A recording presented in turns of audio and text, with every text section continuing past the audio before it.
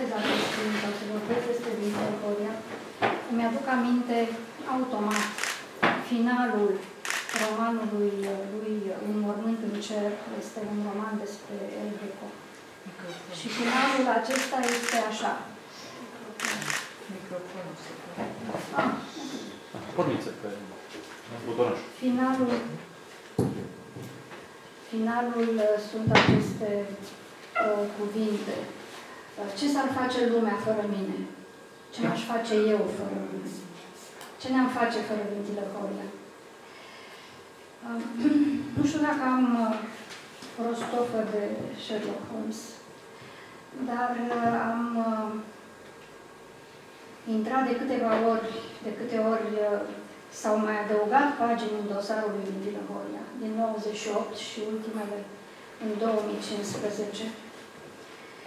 Uh, Nu pot să vă spun, uh, poate că exagerez acum, dar um, impresia e că m-a trebuit să cobor într-un, într-un iad. Ați auzit și aici cum sunau atât de analfabete și aiurea și neromânești și ne nimic uh, textele din uh, dosarele respective. Uh, M-a preocupat și vreau să vă fac această mărturisire, uh, m-a preocupat tot timpul izvorul acestei manipulări, izvorul acestei crime, că e o crimă împotriva unui om să manipulezi și să, să spui atâtea și atâtea minciuni despre el.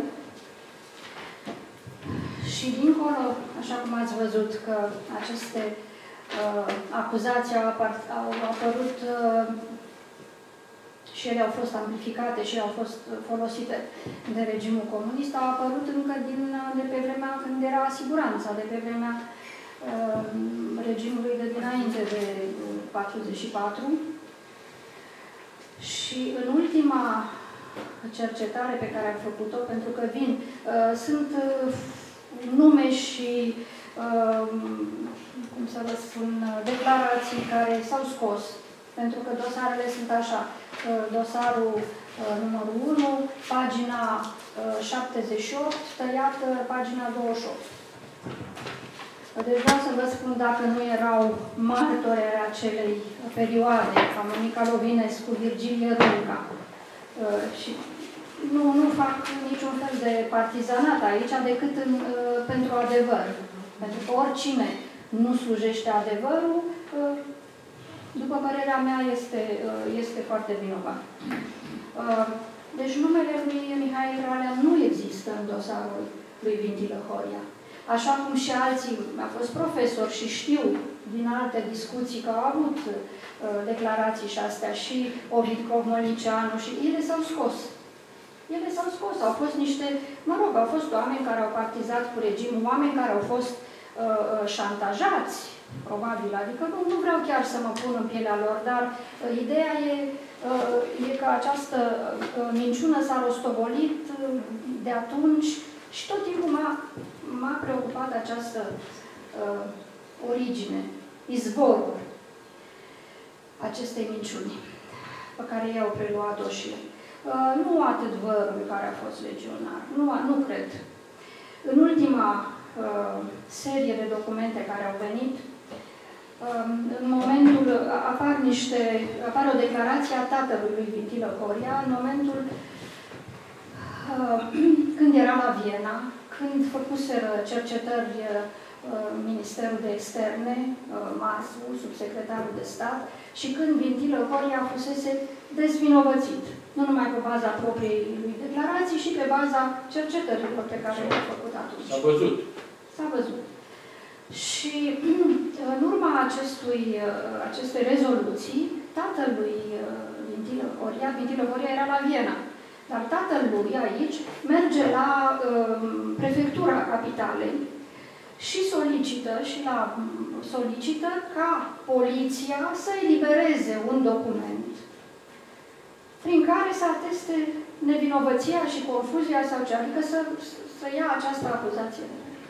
Ce scrie? Eu, sunt câteva cuvinte în toată uh, cererea aceea pe care o face uh, Vintilă Caftangioglu. Uh, să se uh, limpezească uh, minciuna spusă cu rea intenție de o femeie.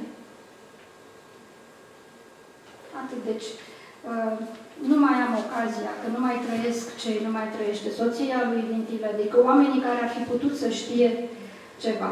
Mi se pare că nu e deloc întâmplător uh, faptul că tatălui Vintilă a adăugat această poveste. Deci, eu cred că la originea acestui, uh, acestui atac atât de nemeritat a fost o răzbunare. O răzbunare. Da. O neștiință. O neștiință. Au fost, am intrat mai multe aici, au intrat mai multe. Uh, Dar Erasmus de Rotterdam spune clar, cauza tuturor relelor este neștiința. Da, este și dragostiința, este și sunt, sunt mai multe. da. Uh, am primit de la Vintilă Horia un text testamentar în cartea pe care am dat, am uh, făcut o ediție a doua a, a cărții. Uh, Este acest dosar și exact tot ce am spus, uh, formula ultima a dosarului este aici, dar acest text uh, uh, testamentar despre degradare și risc mi l-a trimis în- prin cineva în ianuarie 92. Uh, Când uh, pe marginea textului, uh, bătut la mașină, bătea la mașină, uh, a scris, iartă-mi, te rog, greșelile sunt din cauza noii mele mașini de scris. Nu, erau înlocuiri de silabe, era altceva, era un, uh, un simptom înaintea uh, bolii care începuse să se declanșeze și care, la o conferință la Biarritz, a încurcat toate limbile pe care le știa, l-au dus la uh, în Elveția la un medic pe care îl cunoștea și i-au extras a doua tupoare cerebrală, i-au extras lichidul care a apăsat foarte mult și, și din momentul ăla a devenit o legumă. Iar ceea ce povestește Cristian Langa, fiul uh, lui Tertulian Langa, uh, de la Cluj, uh, părinte care a fost închis și care a fost uh, nășit la căsătorie de monseniorul Vladimir Ghica.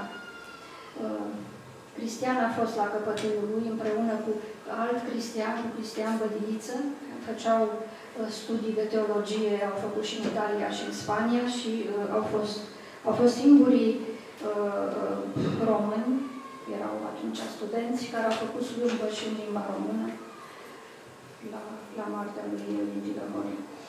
Sunt foarte multe lucruri, nu știu ce să vă mai spun. Dacă dumneavoastră doriți să întrebați ceva, poate. Dacă nu, vă mulțumesc mult. Vă mulțumim foarte mult.